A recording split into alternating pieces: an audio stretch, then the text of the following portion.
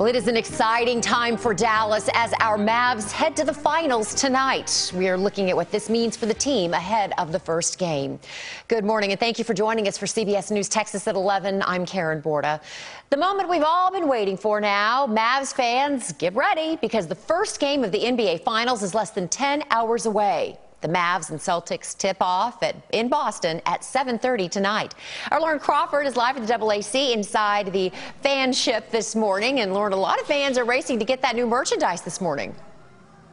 Hey, good morning, Karen. That's right. And what better way to gear up for the game than with a T-shirt with the Dream Team on it? And I want to step out of the way so you can see all of the finals gear that's been flying off the racks already this morning with fans coming in. So excited for the game tonight. The Mavs play in the NBA Finals for the first time since 2011. Now, someone that fans had their eyes on, especially tonight, Kyrie Irving. From 2017 to 2019, Kyrie Irving was a major force on the Boston Celtics Celtics team. But tonight, it's his time to shine with the Mavs and Luka. This is his first NBA Finals game. Now, you're taking a look at the last half hour of uh, both teams' workouts yesterday. An electric atmosphere, especially when Luka is laughing and making those shots from everywhere on the floor. And we talked to some fans that are super excited for tonight's game. Here's what they had to say.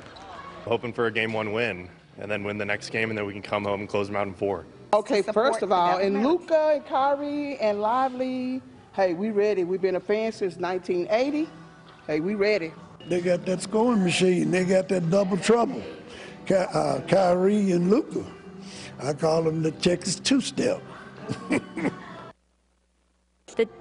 the Texas two step. I love that. Well, there's still plenty of gear in here for you to come in if you want to get a last minute shirt before tonight's game. The official watch party, though, is happening right outside of the fan shop here inside the AAC. Uh, there will be a watch party going on inside the arena. Tickets are $10 and the doors open at 6 o'clock. But the first NBA uh, game, finals game, will be on Wednesday at home. And just for an idea of how much tickets are going for, I checked this morning $739. That is without fees and taxes and for nosebleed seats. The highest ticket price that I saw, over $20,000. Live in Dallas, Lauren Crawford, CBS News, Texas.